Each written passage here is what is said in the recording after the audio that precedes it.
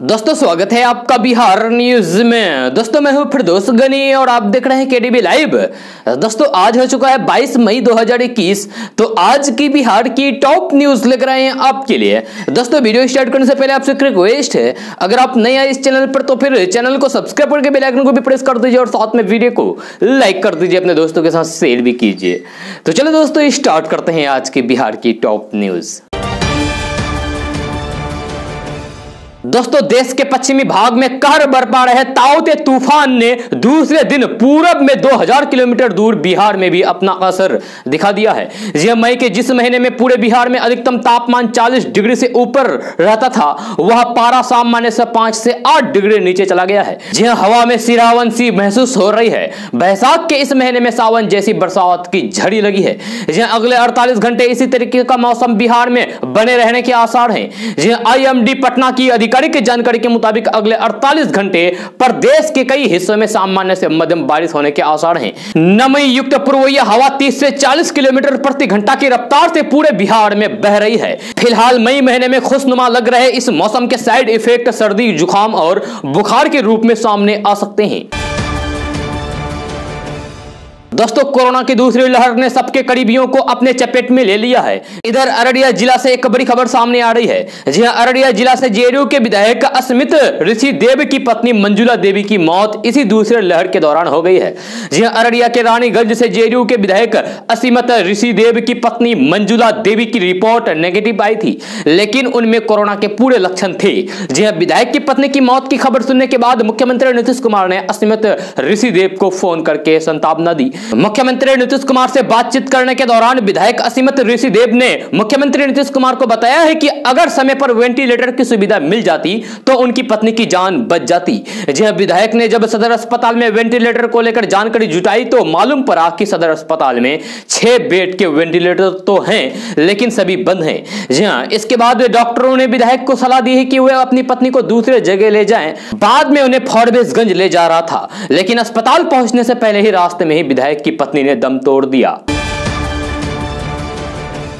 दोस्तों, बिहार के उप मुख्यमंत्री तारकिशोर प्रसाद ने अपने कटिहार दौरे पर एएएम चिल्ड्रेंस एकेडमी पहुंचकर वहाँ कम्युनिटी किचन का जायजा लिया, जहाँ उन्होंने कोरोना से पीड़ित परिवारों और लॉकडाउन की अवधि में जरूरतमंद लोगों के लिए तैयार किए गए भोजन को भी चखा। इस मौके पर उन्होंने कहा कि सरकार ने आपदा के समय प्रभावित लोगों के भोजन की व्यवस्था में सहूलियत प्रदान करने के उद्देश्य से प्रत्येक ज़िले में सामुदायिक रसोई संचालित की है। दोस्तों देश भर में कोरोना का कहर जारी है।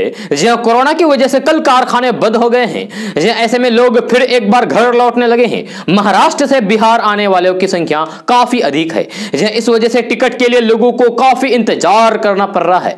जहाँ लोगों की इसी परेशानी को ध्यान में रखते हुए पूर्व मध्य रेलवे ने पुणे और छत्रपति शिवाजी महाराज टर्मिनल से दानापुर, दरभंगा, भागलपुर के मध्य चलाई जा रही दस स्पेशल ट्रेनों की परिचालन अवधि में वृद्धि करने का फैसला किया है। साथ ही यह भी बताया गया है कि सभी स्पेशल ट्रेनों में पहले से टिकट आरक्षित कराना अनिवार्य होगा। यह साथ ही यात्रा के दौरान यात्रियों को कोविड 19 प्रोटोकॉल का पालन करना भी अनिवार्य होगा। दोस्तों, कोरोना की वजह से हर रोज हज़ारों की संख्या में मरीजों की मौतें देश को रुला रही है। जहाँ कोई अपने पिता तो कोई माँ को खो रहे हैं। जहाँ कोई रिश्तेदार तो कोई बेटी या फिर बेटा की लाशों को देखकर फूट फूट कर रो रहा है। यहाँ तक कि आज कोरोना से हो रही मौतों को देखकर खुद प्रधानमंत्री नरेंद्र मोदी भी रोने लग गए। जी हाँ वाराणसी से स्वास्थ्य कर्मियों के साथ बातचीत करने के दौरान बड़ी मौतों की संख्या में पीएम नरेंद्र मोदी भावुक हो गए, रोने लग गए। जी हाँ रोते हुए प्रधानमंत्री नरेंद्र मोदी ने कहा है कि इस कोरोना काल ने हमारे कई अपनों को हमसे छीना है। मैं उन सभी को अपनी श्रद्धांजलि देता हूँ या उनके परिजनों के प्रति संतापना व्यक्त करता हूँ। आप आगे भी प्रधानमंत्री नरेंद्र मोदी के उस वीडियो को देखिए, जिसमें वे भावुक हुए हैं।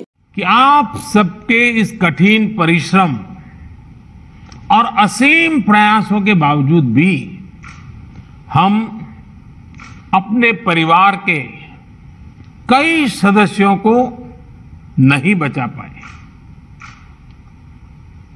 इस वायरस ने हमारे कई अपनों को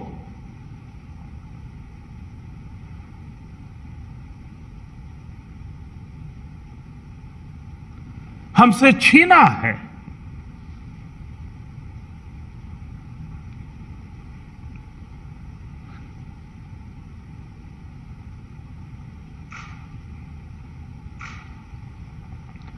मैं उन सभी लोगों को अपनी विनम्र श्रद्धांजलि देता हूँ और उनके परिजनों के प्रति सांत्वना व्यक्त करता हूँ।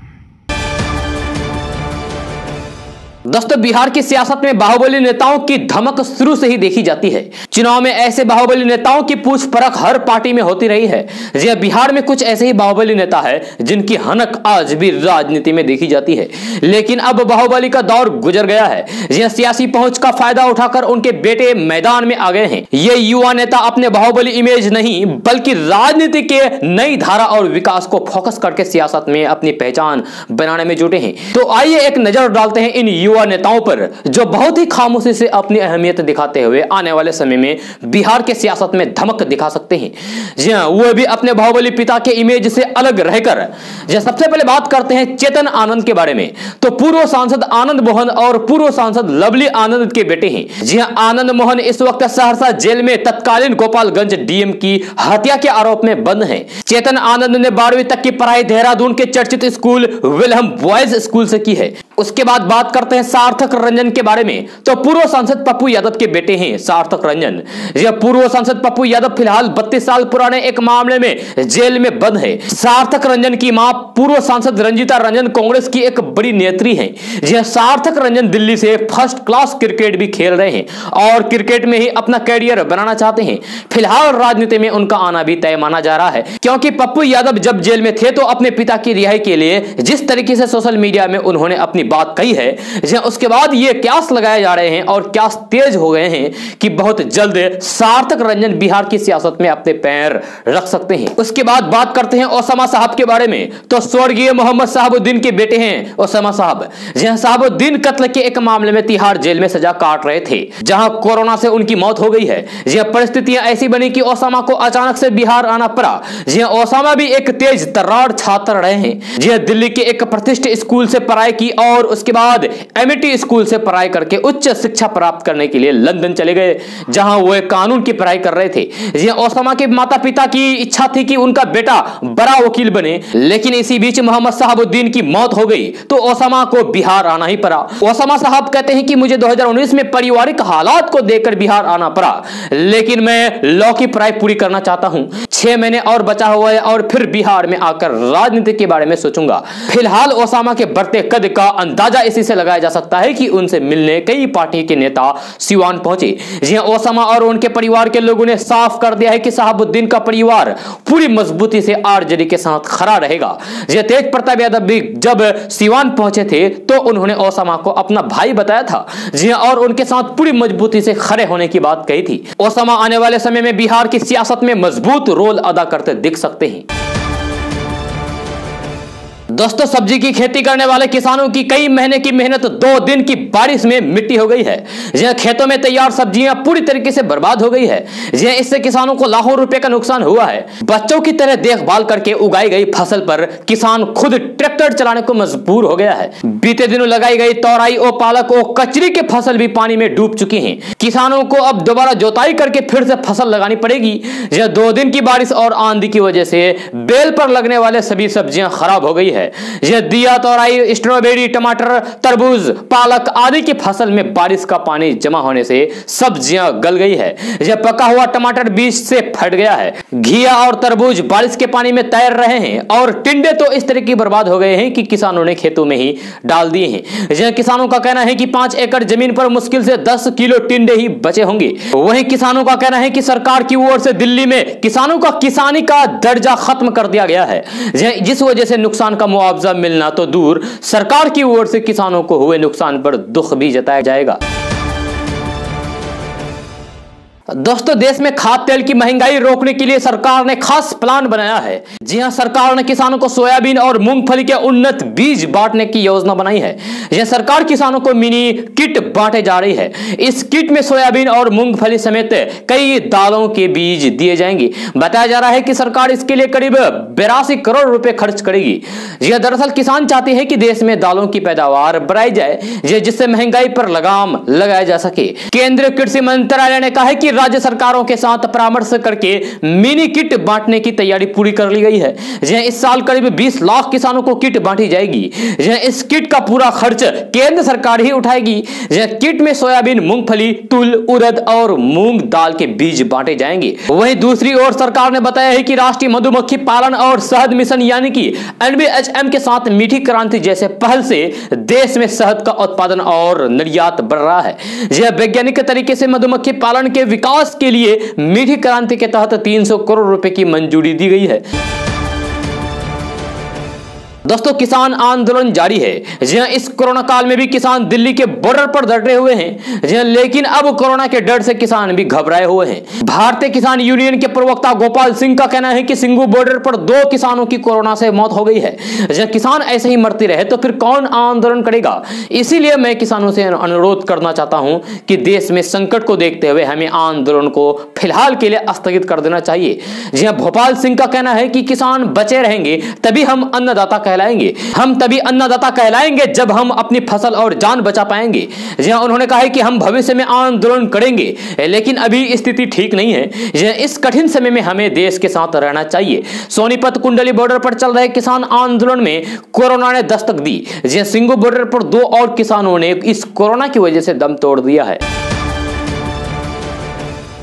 दोस्तों, देश में कोरोना के बढ़ते संक्रमण को रोकने के लिए केंद्र की मोदी सरकार ने वैक्सीनेशन अभियान तेज कर दिया है। जी इस समय देश में 18 से ज़्यादा उम्र वाले सभी नागरिकों को वैक्सीन लगाई जा रही है। ऐसे में सरकार अब आपको घर बैठे पाँच हज़ार रुपए जीतने का मौका दे रही है। जी हाँ सरकार की ओर से जो भी व्यक्ति वैक्सीन लगवाने का फ़ोटो एक अच्छी टैग लाइन के साथ शेयर करेगा, उसे इनाम में पाँच हज़ार रुपए दिए जाएँगे। जी हाँ तो आइए आपको बताते हैं कि कैसे आप घर बैठे पाँच हज़ार जीत सकते हैं, कमा सकते हैं। तो माई गवर्नमेंट इंडिया के ऑफिशियल ट्विटर हैंडल पर इस बारे में जानकारी दी गई है। ट्वीट में कहा गया है कि अगर आपने हाल ही में वैक्सीन लगवाई है तो आप लाखों लोगों को वैक्सीन के लिए प्रेरित कर सकते हैं। जी हाँ आप एक दिलचस्प टैगलाइन के साथ अपने टीकाकरण वाली फ़ोटो शेयर करें और रुपया पाँच जीतने का मौका पाए। जी माई गवर्नमेंट इंडिया ने ट्विटर पर इसका लिंक भी शेयर किया है, जहाँ आप अपनी फ़ोटो शेयर कर सकते हैं। जी हाँ हर महीने दस सेलेक्टेड टैग लाइन को सरकार की तरफ़ से पाँच हज़ार रुपए दिए जाएँगे। यदि आप या फिर आपके परिवार के किसी भी सदस्य ने वैक्सीन लगवाई है तो टीकाकरण के महत्व पर एक अच्छी टैग लाइन के साथ टीकाकरण की तस्वीर शेयर करें और लोगों को प्रेरित करें। उसके बाद फिर आप पाँच हज़ार रुपए जीतने का मौका पाएँ। दोस्तों, अगर आप बिज़नेस करने की सोच रहे हैं तो फिर आपको बेहतर मौका मिलने वाला है। जी हाँ और ये मौका आपको केंद्र सरकार की ओर से मिलेगी, जहाँ आप एलपीजी डिलीवरी सेंटर खोल करके मोटी कमाई कर सकेंगे। जी हाँ दरअसल कॉमन सर्विस सेंटर ने देश में एक लाख एलपीजी वितरक केंद्र शुरू करने की योजना बनाई है। जी हाँ इस योजना पर कॉमन सर्विस सेंटर यानी कि सी अगले साल मार्च तक काम शुरू कर देगी। एलपीजी डिलीवरी सेंटर ग्रामीण और अर्ध शहरी क्षेत्र में होंगे। आपको बता दो कि सी सूचना प्रौद्योगिकी मंत्रालय के तहत आता है। अगर आप अपना बिज़नेस शुरू करने की सोच रहे हैं तो फिर कॉमन सर्विस सेंटर यानी कि सीएससी स्कीम आपकी मदद करेगी। जी हाँ, आप सीएससी की आधिकारिक वेबसाइट पर जाकर आसानी से सीएससी सेंटर के लिए अप्लाई कर सकते हैं।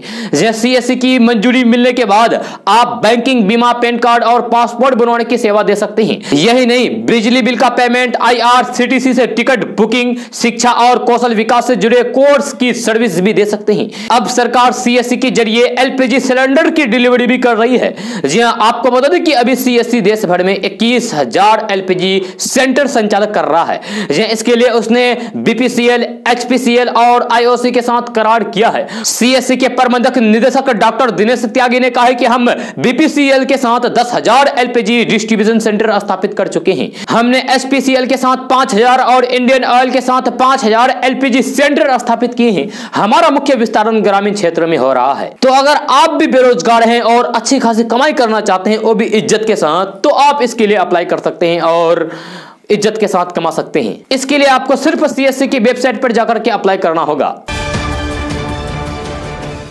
दोस्तों, बिहार में कोरोना से ठीक हो रहे मरीजों में ब्लैक फंगस बहुत तेज़ी से पैर पसार रहा है। जी इसकी चपेट में आए मरीजों की जान भी जाने लगी है। बिहार में दो और मरीजों की मौत ब्लैक फंगस के कारण हो गई है। जी इससे पहले भी दो लोगों की मौत हुई थी। यानी कि अब तक बिहार में चार लोगों की इस ब्लैक फंगस, यानी कि इस आफत की चपेट में आने से हो गई है। जी इधर केंद्र सरकार ने इस बीमारी को महामारी घोषित कर दिया है। बिहार में ब्लैक फंगस की चपेट में आकर दो और मरीजों की मौत हो गई। इस खतरनाक बीमारी के कारण वैशाली ज़िले ज़िले के लालगंज की एक महिला और भागलपुर के नाथनगर के एक युवक की मौत हो गई। यह वैशाली के कटारो पंचायत की वार्ड नंबर आठ की रहने वाली महिला ब्लैक फंगस के शिकार बनने के बाद इलाज के लिए हाजीपुर के एक निजी क्लिनिक में लाई गई थी, जहाँ उसकी मौत हो गई। वहीं भागलपुर के नाथनगर में ब्लैक फंगस से पीड़ित युवक को मायागंज अस्पताल में इलाज के लिए भर्ती कराया गया था, जहाँ उसकी भी मौत हो गई। इससे पहले दो और मरीजों की इस ब्लैक फंगस इस नई मुसीबत की वजह से हो गई है।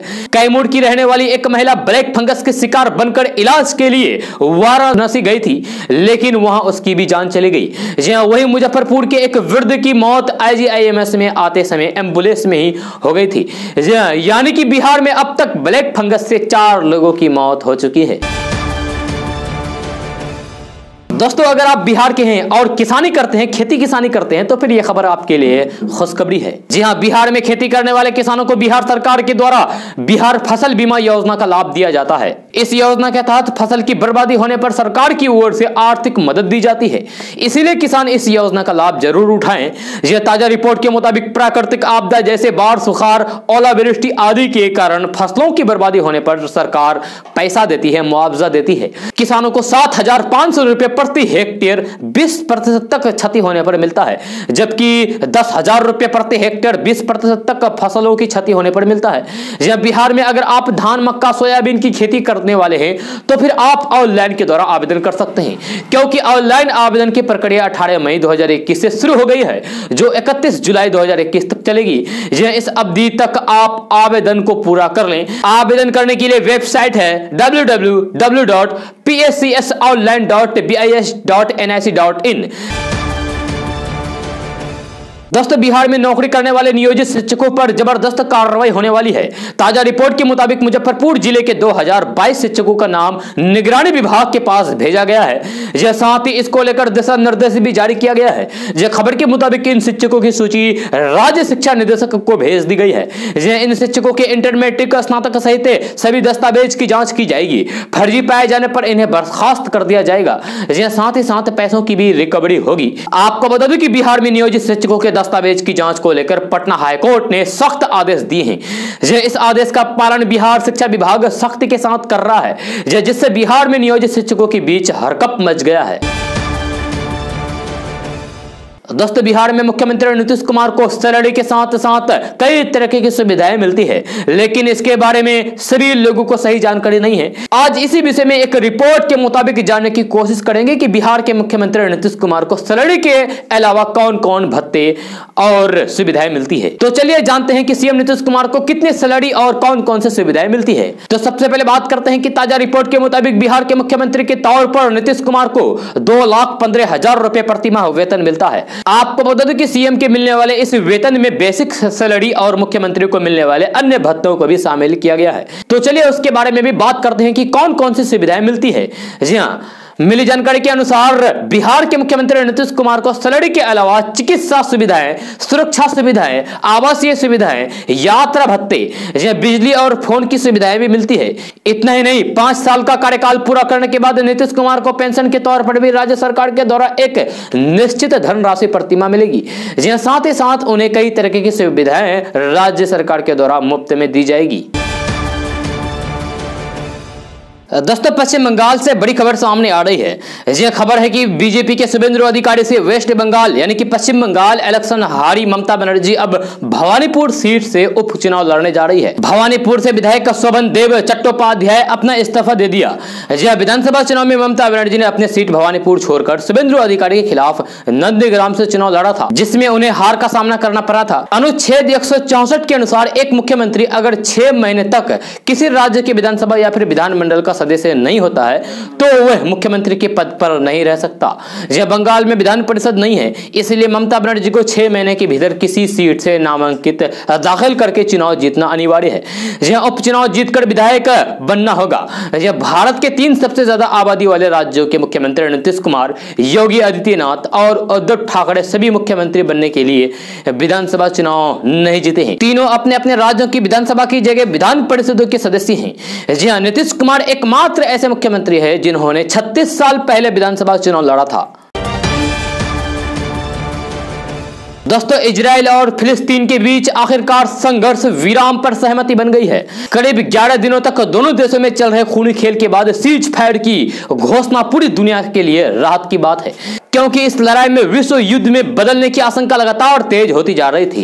इजरायली मीडिया रिपोर्ट के मुताबिक प्रधानमंत्री बेजियामिन नेतन्याहू ने के सुरक्षा मंत्रिमंडल ने गाजा पट्टी में 11 दिनों के सैन्य अभियान को रोकने के लिए संघर्ष विराम को मंजूरी दे दी है। जी हमास के एक अधिकारी ने भी सीज फायर की पुष्टि की है। जी उन्होंने बताया कि यह संघर्ष विराम शुक्रवार तड़के दो बजे से प्रभावी हो गया है। यह दो देशों की इस जंग में तुर्की, रूस और अमेरिका के प्रत्यक्ष एंट्री की संभावना काफ़ी बढ़ गई है। जिसकी वजह से माना जा रहा था कि यह जंग वर्ल्ड वॉर का रूप ले सकती है। हाल ही में लेबनान की तरफ़ से भी इजराइल पर रॉकेट हमला किया गया था। दोस्तों, लालू परिवार में ट्विटर पर सबसे ज़्यादा सक्रिय रहने वाली रोहिणी आचार्य की एक दिन में दर्जन भर से अधिक की ट्वीट के बाद अब राजनीति शुरू हो गई है। यह शुक्रवार को बिहार के पूर्व मुख्यमंत्री जीतन राम मांझी की बहू दीपा मांझी ने रोहिणी की एक ट्वीट को रीट्वीट करते हुए ठेठ अंदाज में फटकार लगा दी। जी दरअसल रोहिणी आचार्य ने शुक्रवार को एक ट्वीट किया और बिना नाम लिए नीतीश कुमार पर निशाना साधा। जी उन्होंने कहा कि पंद्रह साल में सत्ता में बैठे हैं, लेकिन एक भी लिक्विड ऑक्सीजन प्लांट नहीं लगा सके। क्या समुद्र को भी बिहार लाने का इरादा था? इसके बाद कई और चीज़ों को भी रोहिणी ने लिखा जिसके बाद संतोष मांझी की पत्नी दीपा मांझी ने पलटवार कर दिया। दीपा मांझी ने भी अपने अंदाज में रोहिणियों को ठीक से रहने की नसीहत देने लगी। जी हाँ, उन्होंने कहा कि बिहार में एक और बेटी इंसाफ मांग रही है जिसकी ज़िंदगी लालू परिवार ने बर्बाद कर दी। उनका इशारा लालू प्रसाद यादव की बहू ऐश्वर्या की तरफ़ था। जहाँ उन्होंने कहा कि जिसके घर शीशे के बने हो वो दूसरों के घर में पत्थर नहीं मारा करते। जहाँ ऐसे बयानों के बाद अब ऐसा लग रहा है कि राजनीतिक घरानों की बहु बेटी आमने सामने आ गई है। दोस्तों बिहार के ग्रामीण इलाकों में हो रही मौत पर नेता प्रतिपक्ष तेजस्वी यादव ने नाराज़गी ज़ाहिर की है। जी तेजस्वी यादव ने सीएम नीतीश कुमार के ऊपर आंकड़ों की हेराफेरी करने और फिर गलत रिपोर्ट पेश करने का आरोप लगाया है। उनका कहना है कि बिहार के ग्रामीण इलाकों में हज़ारों लोगों की मौत हो गई, लेकिन सरकार इन आंकड़ों को छुपा रही है। यह बिहार के नेता प्रतिपक्ष तेजस्वी यादव ने ट्वीट करके कहा है कि कोरोना संक्रमण के कारण बिहार के गाँव टोलों में बहुत ही भयावह और खतरनाक हालात है। कहीं कोई जाँच परख नहीं, दवा अस्पताल अस्पताल और डॉक्टर तो बहुत दूर की बात है। हज़ारों लोग मारे जा रहे हैं। जालसाज नीतीश सरकार आंकड़ों का प्रबंधन करके मस्त हैं। मर रहे लोग, जल रहे सब इनके लिए संख्या भी नहीं है। एक अन्य ट्वीट में तेजस्वी यादव ने कहा है कि मुजफ्फरपुर के सरमपुर में सैतीस और हाजीपुर के घोवरसपुर गाँव में पंद्रह लोगों की मौत हो चुकी है। हज़ारों ऐसे गाँव हैं जहाँ औसतन दस से अधिक मौत हो चुकी है। गाँव में कोरोना के लक्षण वाले लाखों मरीज़ हैं, लेकिन कोई जाँच नहीं कोई परवाह नहीं। बेसर में नीतीश सरकार कागजों और और आंकड़ों में ही चल रहे हैं। नीतीश सरकार की कार्यशैली पर तेजस्वी यादव ने यह सवाल खड़ा कर दिया है। तेजस्वी यादव का मानना है कि कहीं ना कहीं सरकार लोगों के सामने गलत आंकड़े पेश कर रही है। वास्तविक सच्चाई कुछ और ही है। यह बिहार के ग्रामीण इलाकों में स्थिति बिल्कुल भी ठीक नहीं है। जब बिहार के हज़ारों ऐसे गाँव हैं जहाँ औसतन दस लोगों की मौत हुई है, लेकिन मौत के ये आंकड़ा बिहार सरकार के रिकॉर्ड में नहीं है। दोस्तों बिहार में खेती करने वाले किसानों के लिए बड़ी खबर सामने आ रही है। मिली जानकारी के मुताबिक बिहार सरकार के कृषि विभाग राज्य के किसानों को खरीफ फ़सल का बीज देगी। इसको लेकर विभाग ने दिशा निर्देश भी जारी कर दिया है। ताज़ा रिपोर्ट के मुताबिक बिहार में अड़तीस जिलों के चार सौ पंचानवे केंद्र पर किसानों को खरीफ फ़सल का बीज दिया जाएगा। ऑनलाइन आवेदन करने वाले सवा लाख किसानों को बारह हज़ार सात सौ बारह क्विंटल बीज उपलब्ध कराया गया है। जहाँ किसान इसका लाभ उठा सकते हैं।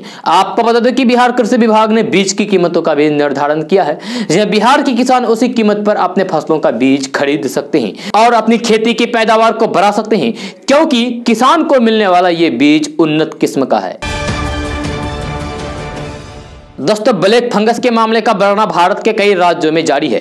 जिन्हें केंद्र सरकार ने राज्यों को उसे महामारी के तौर पर घोषित करने को कहा है। इस बीच व्हाइट फंगस के कम से कम चार मामले का पता बिहार के पटना में चला है। जहाँ गौर करने वाली बात यह है कि व्हाइट फंगस संक्रमण के चार मरीजों में से एक पटना के मशहूर डॉक्टर भी हैं। कई मेडिकल रिपोर्ट के मुताबिक व्हाइट फंगस का संक्रमण ब्लैक फंगस या फिर मियोकॉमिक्सिस ज़्यादा खतरनाक है।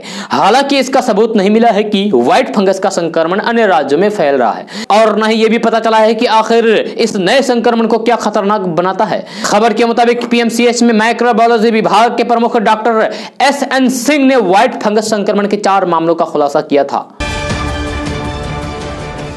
दोस्तों ट्विटर पर बेबाक से अपनी बात रखने वाली आरजेडी सुप्रीमो लालू प्रसाद यादव की बेटी रोहिणी आचार्य का अकाउंट ट्विटर ने लॉक कर दिया है। आपको बता दें कि बिहार के पूर्व उप मुख्यमंत्री और राज्यसभा सांसद सुशील कुमार मोदी पर टिप्पणी करने के बाद उन्होंने ट्विटर से इसकी शिकायत की थी, जिसके बाद रोहिणी आचार्य के अकाउंट पर एक्शन लेते हुए ट्विटर ने उसे लॉक कर दिया। जी हाँ रोहिणी ने खुद इस बात की जानकारी दी है। रोहिणी का अकाउंट लॉक होने के बाद सुशील कुमार मोदी ने ट्वीट के ज़रिए उन पर निशाना साधते हुए लिखा है कि लालू के परिवार की एक बहुत ही मुखर महिला सदस्य के ट्विटर अकाउंट को ट्विटर ने मेरे खिलाफ आपत्तिजनक और अपमानजनक भाषा का इस्तेमाल करने के लिए लॉक कर दिया है। इसके बाद उन्होंने रोहिणी की ट्वीट को रिपोर्ट किए जाने वाले स्क्रीन को भी शेयर की है। सुशील कुमार मोदी के इस ट्वीट के बाद रोहिणी आचार्य ने एक बार फिर से उनके और बिहार के बदहाल स्वास्थ्य व्यवस्था पर तर्ज कसते हुए फेसबुक पर पोस्ट किया है। अपने पोस्ट में उन्होंने लिखा है कि वह क्या अचीवमेंट है? यही फुर्सती अस्पताल बनाने एंबुलेंस ऑक्सीजन सप्लाई दवा सप्लाई में यह तत्परता दिखाई होती तो मेरे साथ साथ मेरा बिहार भी वाह वाही करता आपकी। लेकिन अफसोस बेटी बहनों को आगे करके अपनी नाकामियों को पैंतरेबाजी करके महामारी की इस विपदा में मुद्दे से भटका रहे हैं। आप कभी नहीं सुधर सकते। दोस्तों, बेगूसराय के सदर अस्पताल ने स्वास्थ्य विभाग की कायाकल्प योजना में पूरे बिहार में प्रथम स्थान प्राप्त किया है। जहाँ बिहार राज्य स्वास्थ्य समिति के द्वारा कायाकल्प योजना के तहत पूरे बिहार के सदर अस्पतालों की रैंकिंग जारी की है, जिसमें विभिन्न सिद्धांत के आधार पर इस अस्पताल को इक्यानबे पॉइंट प्रतिशत अंक मिले हैं। जहाँ अक्सर देखा जाता है कि सरकारी अस्पताल के बारे में लोगों की सोच अलग अलग होती है, लेकिन बेगूसराय सदर अस्पताल ने इस सोच को पूरी तरीके से बदल दिया है। अब यहाँ आने वाले भी आपको किसी बड़े निजी क्लिनिक जैसे ही नज़ारा देखने को मिलेगा। आपको बता दें कि सदर अस्पताल में इलाज की व्यवस्था, साफ़ सफ़ाई, लाइटिंग, पार्किंग, साज सज्जा और अन्य अत्याधुनिक सुविधाओं सहित छह बिंदुओं की जाँच के बाद रैंकिंग जारी की जाती है, जिसमें बेगूसराय सदर अस्पताल पूरे बिहार में अव्वल स्थान आया है। वहीं इसके तहत सदर अस्पताल बेगूसराय को इनाम के रूप में पचास लाख की राशि दी जाएगी। जी हाँ सदर अस्पताल के उपाध्यक्ष आनंद शर्मा ने बताया कि कायाकल्प योजना के तहत सदर अस्पताल बेगूसराय ने पूरे बिहार में सैंतीस जिलों को स्वास्थ्य व्यवस्था में पीछे छोड़कर पहला स्थान प्राप्त किया है। दोस्तों, तेल कंपनी इंडियन ऑयल ने अपने उपभोक्ताओं को कई तरह की सेवाएँ दे रही है। जहाँ कंपनी ने एक ट्वीट के ज़रिए बताया है कि अब इंडियन ऑयल के ग्राहकों को कई नई सुविधा देने जा रही है। इसके साथ ही कंपनी ने अपने वार्षिक नतीजों का भी ऐलान किया है। यह कंपनी की नई सेवाओं से रसोई गैस उपभोक्ताओं की ज़िंदगी और आसान हो जाएगी। साथ ही सिलेंडर से जुड़ी कई तरीके की टेंशन भी दूर होगी। इंडियन ऑयल ने सिलेंडर बुक करने के नियमों में भी बदलाव किया है। यह पहले ग्राहकों को गैस एजेंसी में जाकर या फिर एजेंसी के नंबर पर फ़ोन करके रिफिलिंग बुक करना पड़ता था। अब सिर्फ़ मिस कॉल के ज़रिए ही सिलेंडर बुक हो जाएगा और आपको मोबाइल नंबर पर इसकी जानकारी भी मिल जाएगी। यह कंपनी ने अपने ग्राहकों को इंडियन एक्स्ट्रा तेज सिलेंडर की सुविधा भी दी है। यह यहाँ सिलेंडर उच्च दक्षता वाला होगा, जिससे ग्राहकों को एलपीजी की उच्चतम क्वालिटी मिलेगी। इससे खाना जल्द पकेगा और गरणियों का समय बचेगा। साथ ही खाने की क्वालिटी भी बेहतर होगी। अपने ग्राहकों को रसोई गैस खत्म होने की टेंशन से बचाने के लिए कंपनी ने कॉम्बो सिलेंडर की पेशकश की है। इसके तहत उपभोक्ता आम सिलेंडर के साथ पाँच किलोग्राम छोटा सिलेंडर भी ले सकेंगे। ऐसे में मुख्य सिलेंडर की खत्म होने पर नए सिलेंडर की डिलीवरी तक छोटे सिलेंडर से काम चलाया जा सकेगा। जी हाँ शहरों में अकेले रहने वाले लोग, छात्र और प्रवासी कामगार जिनकी गैस की खपत कम है और वे गैस पर ज़्यादा खर्च भी नहीं चाहते हैं, उनके लिए कंपनी ने छोटू सिलेंडर का ऑफ़र दिया है। जहाँ पाँच किलोग्राम का यह सिलेंडर इंडियन की एजेंसी या फिर कंपनी के पेट्रोल पंप मिलेगा। इसे रिफिलिंग कराना और फिर इस्तेमाल कराना बेहद आसान होगा। अब आप मोबाइल ऐप से सिलेंडर बुक भी कर सकते हैं। तो चलिए इसके बारे में कुछ आपको बताते हैं। अब आप इंडियन गैस, भारत गैस और एचपी के गैस सिलेंडर घर बैठे उमंग ऐप के ज़रिए बुक कर सकेंगे। इसके लिए आपको उमंग ऐप डाउनलोड करना होगा और गैस कनेक्शन की जानकारी देकर गैस बुकिंग से लेकर बुकिंग हिस्ट्री जानने जैसे कई सेवाएँ भी ले सकते हैं। दोस्तों, देश में जहाँ कोरोना और ब्लैक फंगस को लेकर संकट गहराता जा रहा है, वही कृषि कानूनों के खिलाफ किसानों को आंदोलन जारी है और वे धरनास्थल पर जस के तस बैठे हुए हैं। जिन्हें हर तरफ़ किसान आंदोलन को खत्म करने की मांग उठ रही है। यह दरअसल यहाँ बड़ी संख्या में लोग मौजूद है। सरकार ने भी किसानों को आंदोलन खत्म करने या फिर इसे कुछ समय के लिए टाल देने की अपील की है। इसी बीच भारतीय किसान यूनियन के नेता राकेश टिकेत की तरफ़ से बयान सामने आया है और उन्होंने कहा है कि किसान आंदोलन खत्म नहीं होगा। राकेश टिकेट ने ट्वीट करके कहा है कि किसान आंदोलन अब तीनों कृषि के काले कानून वापस होने के बाद एमएसपी पर कानून बनने के बाद ही खत्म होगा। इससे पहले मीडिया से बात करते हुए राकेश टिकैत ने कहा है कि जितने भी पत्रकार या फिर पुलिस कर्मियों की कोरोना से मौत हुई है, कोई भी यहाँ धरना स्थल पर नहीं आया था। जहाँ राकेश टिकैत ने कहा है कि बीमारी का रास्ता अस्पताल और आंदोलन का रास्ता संसद तक जाता है। जहाँ राकेश टिकैत ने कहा है कि आंदोलन में किसी भी किसान को कोरोना नहीं हुआ है। जहाँ राकेश टिकैत ने कहा है कि सरकार यह गलत फहमी अपने दिमाग से निकाल दे कि हम पीछे हटेंगे और आंदोलन खत्म करेंगे। दोस्तों, कोरोना काल में लॉकडाउन या फिर तालाबंदी की वजह से लाखों लोगों की नौकरी जा चुकी है। जब बीते साल से शुरू हुआ, यह सिलसिला अब भी जारी है। सीएमआईई की ताज़ा रिपोर्ट के मुताबिक 16 मई 2021 को समाप्त हुए हफ़्ते के दौरान देश में बेरोजगारी दर बढ़कर 14.5 फ़ीसदी पर पहुँच गई है, जो अप्रैल में आठ फ़ीसदी पर थी। हालाँकि इसी अवधि में इस साल पहले से तुलना करें तो आठ फ़ीसदी कम है। इससे एक सप्ताह पहले, यानी कि नौ मई को समाप्त सप्ताह में बेरोजगारी दर आठ फ़ीसदी थी। जहाँ कहने का मतलब यह है कि हफ़्ते भर में बेरोजगारी की दर करीब दोगुनी हो गई है। जी आंकड़े बताते हैं कि यह पिछले पचास सप्ताह का उच्चतम स्तर है। अगर यही हालात बना रहे तो फिर आने वाले वक्त में बेरोजगारी की दर पिछले साल से भी ज़्यादा जा सकती है। जी आपको बता दें कि पिछले साल मई में बेरोजगारी की दर इक्कीस प्रतिशत था। रिपोर्ट के मुताबिक बताया गया है कि भारी संख्या में मजदूर महानगरों को छोड़कर घर की ओर जा रहे थे। इसी वजह से इतनी बेरोजगारी हो गई। दोस्तों, आज का न्यूज़ बस यहाँ तक। कैसा लगा ज़रूर अपना सुझाव दीजिएगा नीचे कमेंट बॉक्स में कमेंट करके। अगर आप नए हैं इस चैनल पर तो फिर चैनल को सब्सक्राइब करके बेल आइकन को भी प्रेस कर दीजिए और साथ में वीडियो को लाइक कर दीजिए, अपने दोस्तों के साथ शेयर भी कीजिए। तो चलिए दोस्तों, फिर मिलते हैं अगले वीडियो में। जय हिंद, जय बिहार।